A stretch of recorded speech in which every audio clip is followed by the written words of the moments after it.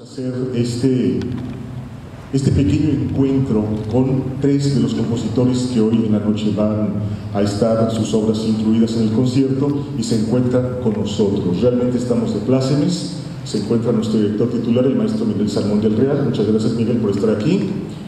Y eh, está eh, Felipe Pérez Santiago. Felipe, bienvenido. Hola, gracias. Él ya había estado aquí en Culiacán hace unos 4 o 5 años más o menos.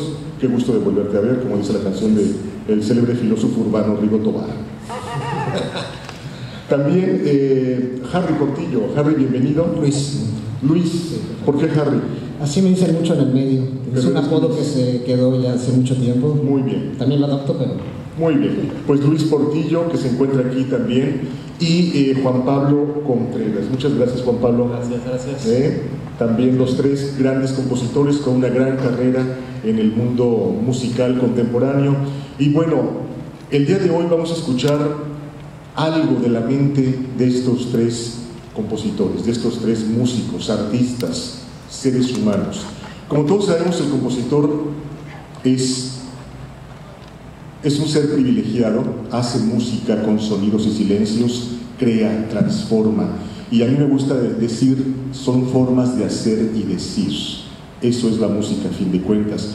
Y la música, los compositores se adaptan con el paso de las centurias, con el paso de los años, con las épocas, con las tecnologías, absolutamente con todo, la música, la creación musical va de la mano. Y el día de hoy, el concierto específicamente, vamos a respirar ese México del siglo XXI. Sí, adoramos a Moncayo, adoramos a Blas Galindo, a don Carlos Chávez, eh, más atrás a Juventino Rosas, a Melesio Morales, eh, a Mario Lavista, todavía vive el maestro, ¿no? Maestro de muchos de nosotros, ¿no? Eh, casi 80 años tiene el maestro, pero bueno, pertenece al capítulo anterior, al siglo XX. Y ahora tenemos compositores del siglo XXI. Aunque nacieron en el 20, pero bueno, los perdonamos. Los perdonamos. ¡Bravo, Aldo! Gracias. Traje mi club de fans el día de hoy. Bueno, quiero ceder las palabras primero al director titular de la Orquesta Sinfónica, ya que él tiene que irse a su camerino, concentrarse, pero ¿cómo se te ocurrió, Miguel, la conformación del programa del día de hoy? Eh, septiembre, como todos sabemos, es un mes en el que recordamos a México y es más o menos tradicional el hecho de que las distintas orquestas sinfónicas le hacen un espacio a alguna obra mexicana hacia el 15 de septiembre, en esta semana, del fin de semana al 15 de septiembre. Y hemos observado todos nosotros como en muchos años se repiten eh, recurrentemente las piezas valiosas, por supuesto, pero las mismas como los sones de mariachi y, el fabuloso guapango y, estas piezas que, pertenecen a una, a una generación ya los convierte en obras clásicas, pero hay mucho más México que esas piezas.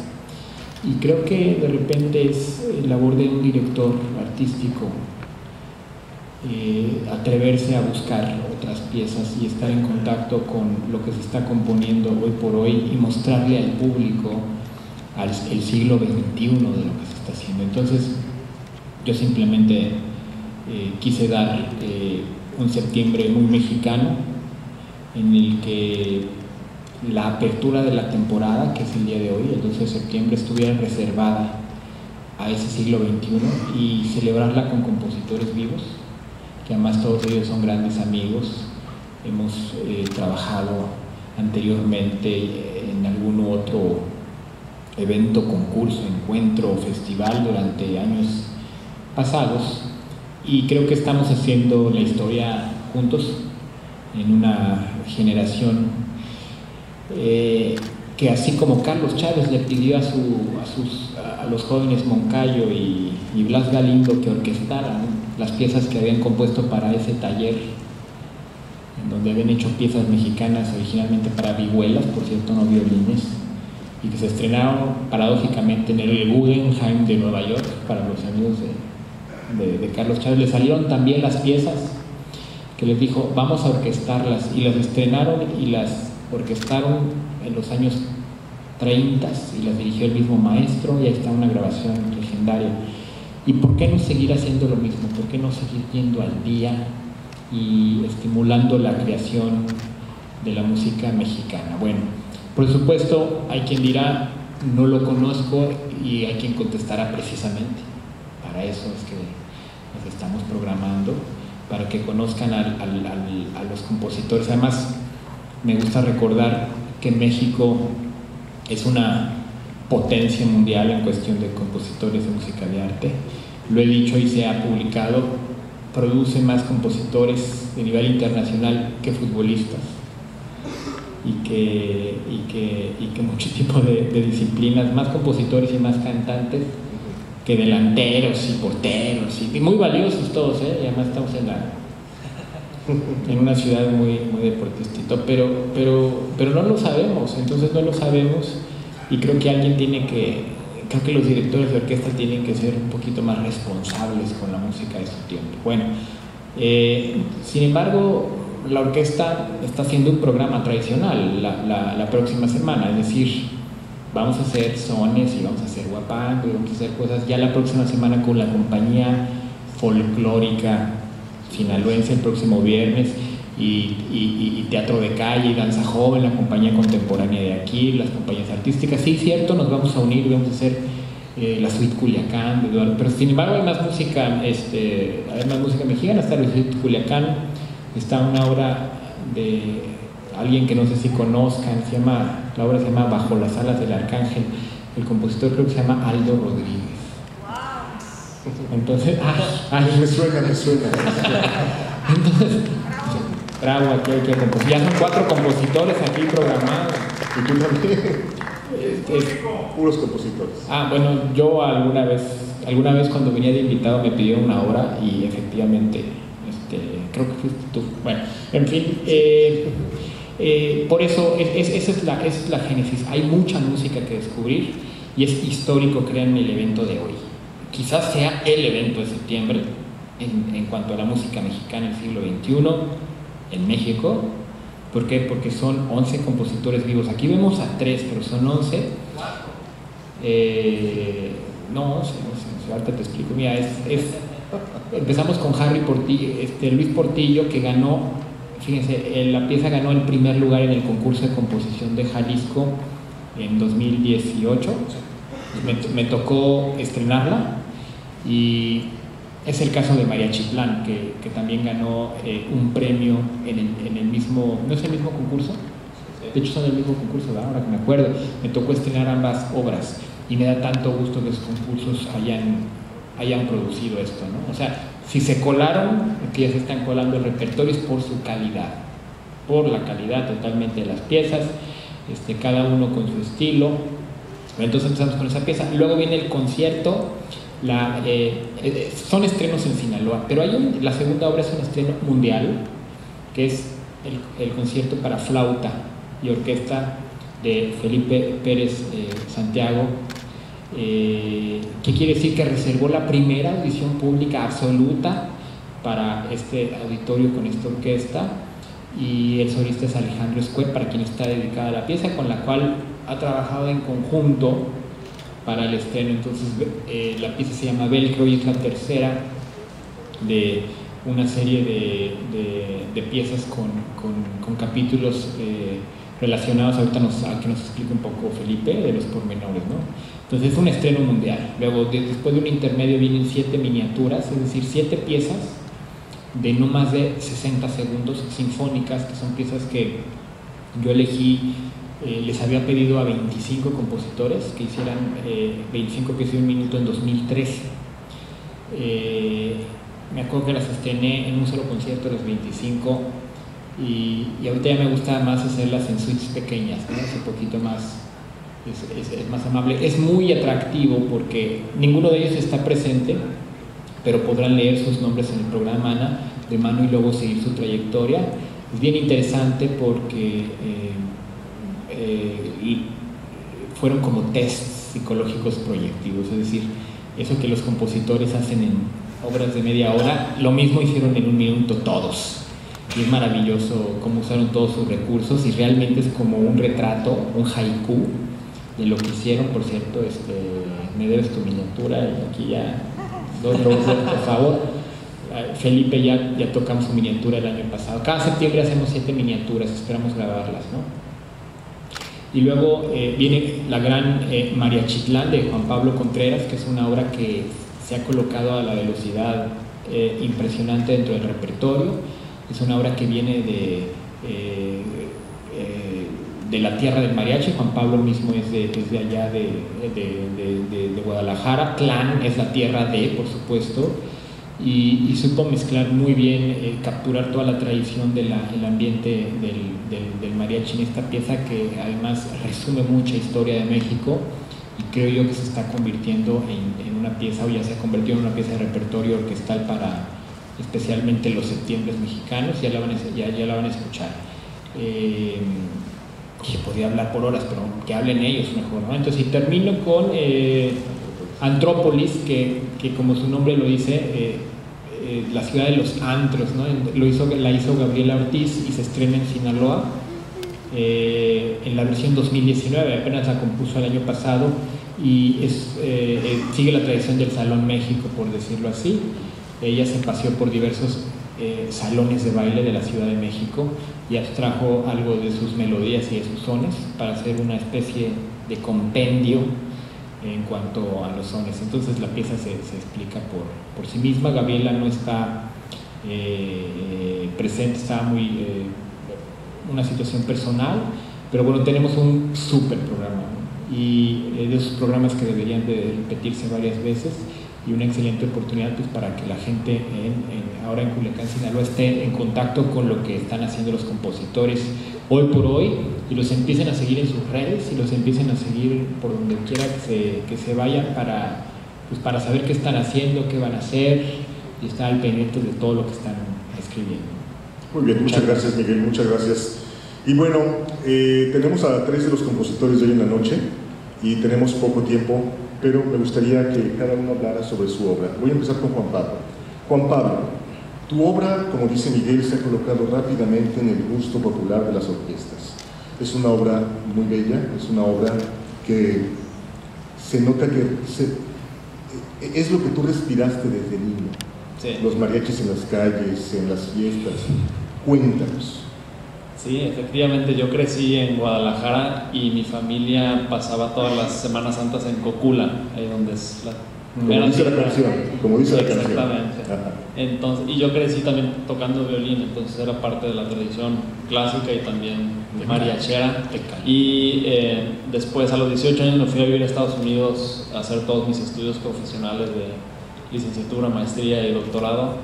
Y hace tres años me mudé a Los Ángeles, justamente para hacer el doctorado, y al llegar ahí como que sentí un, un renacer, una, una conexión muy fresca con el, con México, por, por tantos paisanos que hay por allá, y específicamente con el mariachi, porque hay unos grupos increíbles que tocan este, sí, un nivel impresionante, y había uno en especial que era un mariachi femenil que se llama Las Colibrí, increíble mariachi, dije, tengo que hacer yo algo con el mariachi porque soy de ahí, justamente acaba de abrir este concurso la, la Filarmónica de Jalisco y es el, homenaje perfecto para Jalisco y para su orquesta, y quise hacer... eh, algunas de las obras que se mencionan como este, los sones de, de, Ujú. de Mariachi Blas Galindo, ahí son más bien como pupurrís y, y, este, como un poquito más idealizados de cómo suena la música mexicana con la orquesta y yo lo que quise retratar es como cómo suenan los mariachis en las calles de México. Entonces la idea, la narrativa de esta pieza es como si estás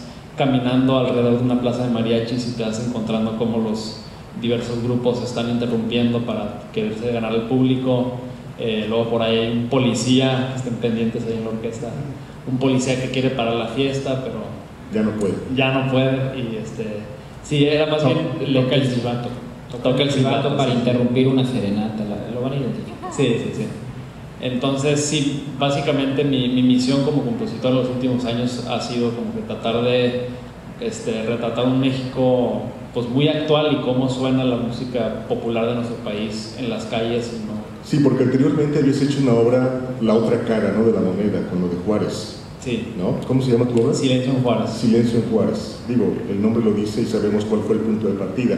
Y esta obra es compuesta- completamente opuesta, ¿no? Sí, muchísimo más festiva, pero aún así sigo explorando como que esta pues, identidad nueva de la composición mexicana y cómo poder este, amalgamar estos dos mundos que, que me gustan tanto, la música clásica y la música mexicana. No, fabuloso, Juan Pablo, realmente fabuloso. Vamos a disfrutar ahora esta obra que sin duda se va a colocar rápidamente en el gusto, pues no sé, de todos los mexicanos, sin duda alguna. Ya, que platícale rápidamente de la gira, porque esta, esta gira, se, esto es parte de una gira, ¿no? Y hay Sí. 11 conciertos y como 7 orquestas que la están tocando a solo dos años de compuesta. Bueno, eso es un Ahora prodigio. Sí. Eh, es- esta obra se grabó en disco con la Filarmónica de Jalisco Sí, para Universal Music y es el primer disco de música clásica que lanza esta disquera en México y entonces eh, organizamos esta gira, muy afortunado de, de estar aquí con ustedes en, en Culiacán, que sea parte de esta, de esta misión de llevarle esta música a, varias ciudades de México, son siete ciudades con 11 conciertos y pues sí, con la idea también de, de- de difundir que hay compositores vivos, ¿no? A veces como que el requisito número uno es estar muerto y Sí, pero no. aquí estamos, aquí estamos tratando de La verdad es, es cierto, Juan Pablo, la verdad es muy importante tener directores como Miguel que, que, que nos programen, ¿sí? que crean en nuestras obras, en nuestro lenguaje musical, sí, porque pues necesitamos ser escuchados. Y digo, el instrumento, este es el instrumento más grande, el instrumento musical más grande que existe. No, no es un piano, no es un violín solo, no es una guitarra. Entonces se tienen que amalgamar muchas cosas, pero sobre todo tener la visión de un director artístico Sí. que, que crea ¿no? en, en- en esto. Me va a dejar unos discos para. No está aquí el encargado del teatro. eh, Voy a hacer un comercial rápidamente ahorita. Me va a dejar unos discos para que los puedan adquirir. Entonces ahí me, me dicen, luego me dicen y me escriben y para que se pueda llevar su disco. Y ahí se comercial. Bueno. No dije nada, no dije nada. Muchas gracias, Juan Pablo. Gracias. Ahora vamos contigo, Luis. Luis, ¿verdad? Exactamente. Perfecto. Cuéntanos sobre claridad y fuerza. El nombre me encanta, ¿no? Sí. ¿Es, es fanfarresco? ¿Es una fanfarria? No, ¿O es- ¿Qué, qué es? Fue, es- fue muy chistoso porque fue una idea que yo voy mucho como hasta la costa de Oaxaca, Ajá. a Mazunte para ser par- particularmente ex- exacto. Y tiene una cuestión de los atardeceres y amaneceres son impactantes. Entonces justo un día venía, me fui como a, tratar de componer, es lo que he tratado de hacer como los últimos años, porque mucho tiempo me dedicaba a hacer como trabajo para otra gente, ¿no? Pero nunca exploraba realmente como mi voz. Entonces empecé a buscar estos como, digamos, retiros personales en que buscaba la naturaleza y yo. Y en uno de esos viajes, justo después de ver un atardecer impresionante, que México tiene unos atardeceres impresionantes, con mucho, yo sentía que este atardecer tiene mucha fuerza. Y en ese momento, no sé por qué, tuve una claridad muy, muy grande. Se Entonces- juntaron las dos palabras. Exactamente. Y es, es curioso porque normalmente cuando tienes claridad en tu vida, en tu espiritualidad, en tu persona, como que tienes siempre esa, eres muy claro y muy directo.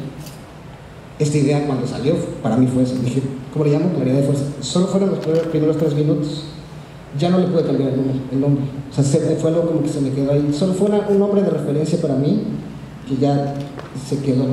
Después ya seguí avanzando la obra durante un año más o menos, me tardé un año más o menos en componerlo.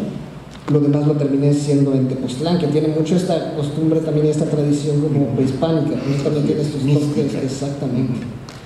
Entonces, y también, quieres o no, también nuestra, nuestras culturas prehispánicas también tenían eso, los toltecas tenían una claridad como muy, y a fin de cuentas tenían culturas muy fuertes. y- Sí. ¿Hay elementos prehispánicos en la obra? Claro, O sea, en general sí, rítmicas, exactamente. Rítmicas, escalas pentáfonas o algo así, ¿no? No, simplemente Ok, rítmicas, más que nada.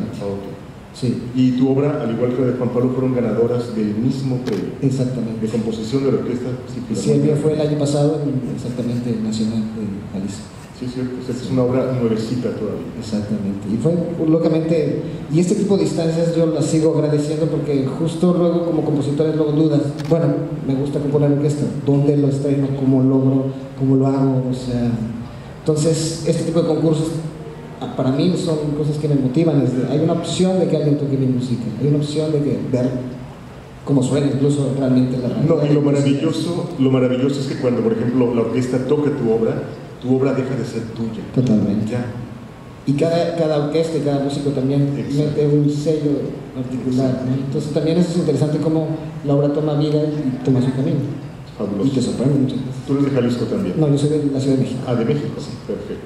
No, muy bien. Felipe, qué gusto de tenerte aquí nuevamente. Me acuerdo que hace cuatro o cinco años platicamos aquí en el vestíbulo del teatro Así sobre velcro. Así es. Lo tenías recién compuesto para Alejandro, gran amigo de todos nosotros. Me regalaste la partitura, ahí la tengo todavía. Y bueno, se estrena hoy. ¿Qué Así, tal? así es, pues muy contento. Bueno, también eh, importante agradecer al público que está ahorita aquí presente, porque no, bueno, al menos yo no me esperaba tanta gente en esta plática previa. Entonces, pues muchísimas gracias por estar aquí. Eso nos augura un teatro aún más lleno ahorita para el concierto. Y pues sí, seré breve porque esta obra llega por todos lados. Eh, bueno, Miguel y yo nos conocimos hace aproximadamente 10 años. Los dos estábamos literalmente recién aterrizados de un tiempo muy largo en Holanda. Eh, ¿Tú estuviste, Miguel, qué? ¿6, 7 años? Siete años. 7 años. Tú 14. Yo estuve 14, donde hicimos cada uno de nuestros correspondientes estudios en nuestras especialidades, él en dirección en composición, pero regresamos a México los dos el mismo año. Y Miguel acababa de fundar un ensamble que se llamaba el Ensamble Nuevo de México y también en aquel entonces estaba dirigiendo al ensamble Tempus Fugit. Y me llama Miguel y me dice, oye, ¿por qué no nos escribes una obra para este ensamble? Yo tomo mucho cariño a esa obra que se llama La Candesauria, porque es la primera obra que escribí a mi regreso a México y la escribí para Miguel. Y bueno, la obra pues se estrenó en México, ahora ha sido una obra pues que afortunadamente se ha tocado muchísimo por todo el mundo, incluso Miguel la retocó aquí en, este, en Sinaloa hace este año. Sí, ¿no? en, febrero en el ciclo de cámara en este. Fíjate. Y de ahí, entonces, esa es mi historia con Miguel, porque luego Miguel me comisiona otra obra para el Ensamble Nuevo de México, una miniatura, la cual este, titulé Mal Timing. Luego me comisiona otra miniatura para la orquesta, que, y ahí empieza, ahí empieza la serie de materiales. Esa obra se llamaba Poliéster. Este, y luego, y esta obra, pero esta no me la comisiona él, esta viene por otro lado, que es mis colaboraciones con el increíble flautista Alejandro Escuer, que ahora lo verán, quien eh, literalmente lo he abusado a más no poder, porque él ha escrito obras para flauta sola, para flauta y electrónica, para flauta y percusión, para flauta y ensamble, para flauta y orquesta.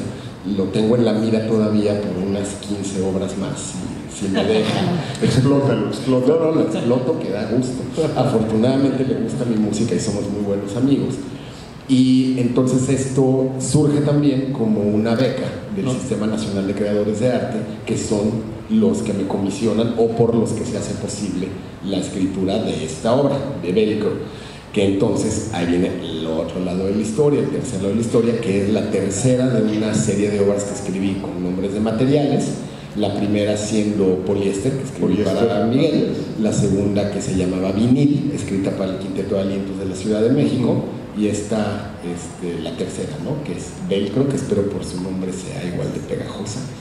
Entonces, y este... Rasgadora.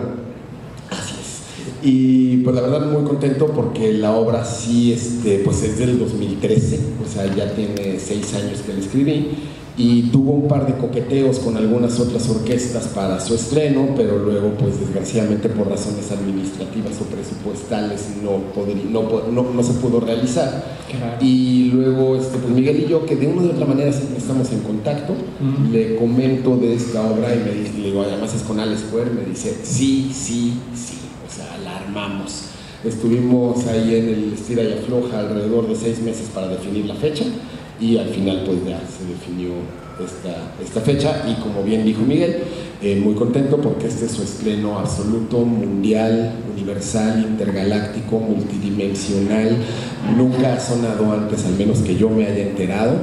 Y, este, y pues muy contento de compartirlo con todos ustedes. Ahora, déjenme decirles que así como Juan Pablo se inspiró en el mariachi, eh, así como Luis se inspiró en la naturaleza, en la grandeza ¿sí? de la naturaleza, tú tienes las raíces rockeras totalmente. y se siente el rock ¿no? en, en- en la obra, ¿no? sobre todo en el tercer movimiento.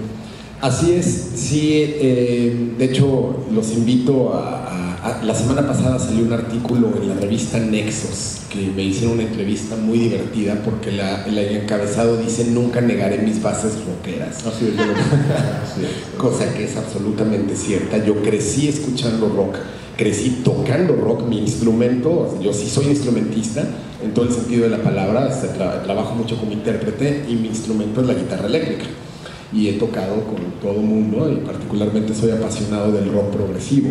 Y Igualmente, yo también.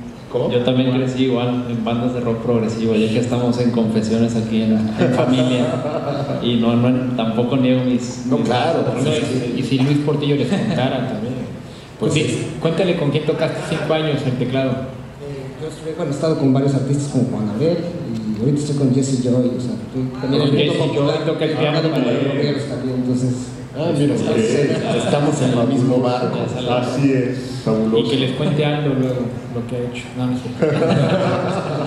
Entonces, y, además veo que cada vez se llena más la sala, cosa que la verdad es un, es un gustazo. Y sí, efectivamente, este concierto son tres movimientos, eh, los nombres son bastante curiosos, ya los verán en el programa. Y el último movimiento que se llama Super Agresivo es pues un pequeño homenaje a una de mis bandas favoritas que es King Crimson y este pues sí se siente absolutamente la influencia de ellos. Fabuloso. Aparte el solista que van a ver el día de hoy, ya ha venido a Culiacán varias veces, Alejandro Square, ha venido con Onyx, sobre todo. Eh, se han presentado aquí en este teatro, ¿no? Eh, estuvieron aquí en el 2014, si no me equivoco. Y bueno, Alejandro es un flautista increíble, un gran improvisador del instrumento, un gran conocedor del instrumento. No nada más toca la flauta transversal normal en Do mayor, toca toda la gama de flautas, hasta la flauta baja contra baja que mide como 4 metros de altura. No, realmente es un gran virtuoso y es un gran, excelente ser humano, Alejandro Square, y, es un amigo, un cuate, un de todos nosotros. Realmente es un, es un gran músico y créanme que va a ser un bocato di cardinale el concierto velcro del día de hoy y vamos a respirar eh, los sones de, Jalisco desde Cocules el mariachi con la obra de Juan Pablo y esa claridad y fuerza, un nombre muy místico por cierto, ¿sí? Muy bien, perfecto, de Luis Portillo. Aparte tenemos las miniaturas. el año pasado en el Teatro Lince se presentaron siete, ¿verdad? También, ahí fue el primer entre. Y ahí estuvo, bueno, Alejandra Odgers, no recuerdo quién más. Ahora está Aurelio Tello. Ah, la tuya, es cierto. Ahora está Aurelio Tello, Aldo Lovera. Eh, Gilberto Moreno, son nombres incluso eh, que ustedes dirán no los conocemos. Yo creo que el compositor más de más edad del concierto del día de hoy es el maestro Aurelio Tello. Un gran investigador. Un gran investigador especialista en música novohispana, virreinal ya ha estado aquí muchas veces en Sinaloa también. Ah, es, un gran amigo. Alguna vez coincidimos en un estreno, en un concierto, una, obra de él y una obra de un servidor. No, eh, yo creo que es el, es el, compositor de más edad de, este, de esta noche, sin duda alguna. Y Gaby Ortiz, yo conocí a Gaby, ¿sabes dónde? En el Templo de la Valenciana, en un festival cervantino 93, cuando vino Cronos. Ah, la primera vez, ya ves que nos reunimos varios compositores con Cronos. Eh, y bueno, ahí conocí a Gaby porque iban a tocar su obra Altar de Neón. Altar de Muertos. Altar, no, no, no. Ah. Esa fue con Cronos Quartet. Ah, En el 96. En el 93 fue Altar de Neón para percusiones. Y, este, y, la orquesta que dirigió Dime, que me parece. Ahí conocí a Gaby. Mm. Ahí la conocí. Bueno, una gran compositora, una gran, gran compositora realmente. Y actualmente ha tenido mucho, mucho movimiento, ¿no? Ahorita estoy de la mano ya con Dudamel y la Orquesta Filarmónica de Los Ángeles, en fin, grandiosa Gaby, Gaby Ortiz. Ella es hija del fundador de los folcloristas. ¿Se acuerdan de los folcloristas? ¿Sí? Entonces su música está llena de ese México. La obra de hoy está llena de lo que a ella le tocó vivir, bailar, cantar desde niña. Y obviamente le gusta mucho la danza, el baile, y es un homenaje a esa cultura chilanga, vamos a llamarlo así, sinceramente como el Salón México de Aaron Copland, pues. Sí. El California Dancing Club todavía existe en, en, en, Tlalpan. El Balalaika. El Balalaika, o sea, todavía existen salones de baile. Sí, claro. ¿Cuál? El Salón Los Ángeles también. El Salón Los Ángeles, así es. Bueno, esa es la inspiración de Gaby para Antrópolis. Así que realmente el día de hoy vamos a respirar este México del siglo XXI. Eh, ya conocieron a tres de los compositores. Créanme que es un placer que, que tengamos a los compositores en la sala. Respiremos su música. Les recuerdo que la música...